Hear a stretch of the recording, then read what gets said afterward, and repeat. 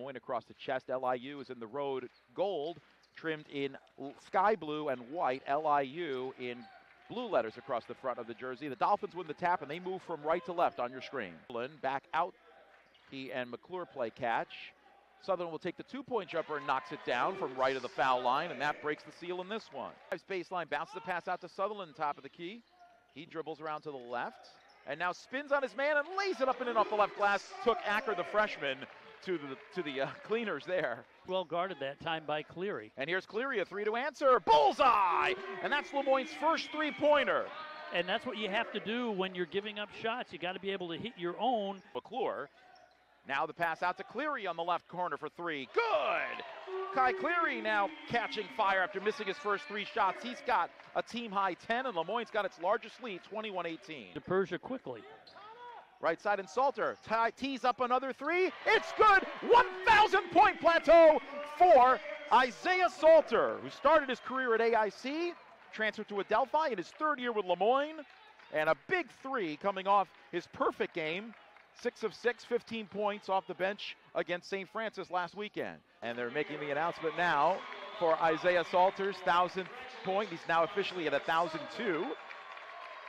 Nice ovation from the crowd, indicating such. Bad pass by McClure is knocked away and stolen. Here's a two on one. Acker going up for the jam, and it's blocked by Cleary. He blocked his jam midair. Sutherland now has it on the left side. What a great defensive gem that was for Cleary. Salter sidestep his, sidesteps his man. Three in the air and good to go. Strickland, you know he's going to take the shot. Sidestep, three pointer up and short, and the Dolphins will go into the locker room, leading by four on a 5 0 spurt, 41 to 37. Pivots back out to Cleary. Sutherland setting a pick for Cleary.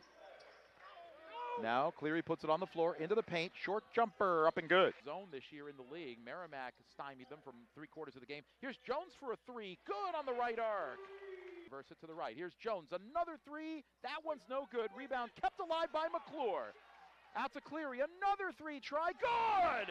Second time he's hit on the second three. He's got 28 for a season high, and Le Moyne is up nine, its largest advantage. Sutherland almost oh, walked with it. He did travel with it. Down low, a finger roll is good on the turnaround. Puts it on the floor. Hands to Cleary. Top of the key. Turnaround three. Bullseye! 40 points for Kai Cleary. Most by a Dolphin in a game since Don or since Lawrence Perrigan at St. Michael's on December 13, 2008. Now they're, they're got a little bit of pressure on the point guard, but 48 seconds to go. Too little, too late. Cleary's got it now. Guarded by Strickland, the two best players on the floor. Here's Cleary into the lane. The flip is good and a foul, and it's a new scoring record. Kai Cleary is the all-time best Le Moyne individual scorer with 42 plus points on the game.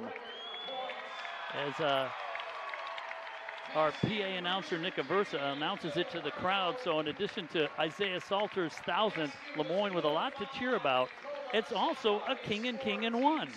King and King, the oldest operating architectural firm in New York State. Let's see if he can complete the King and King and one and make it an and one.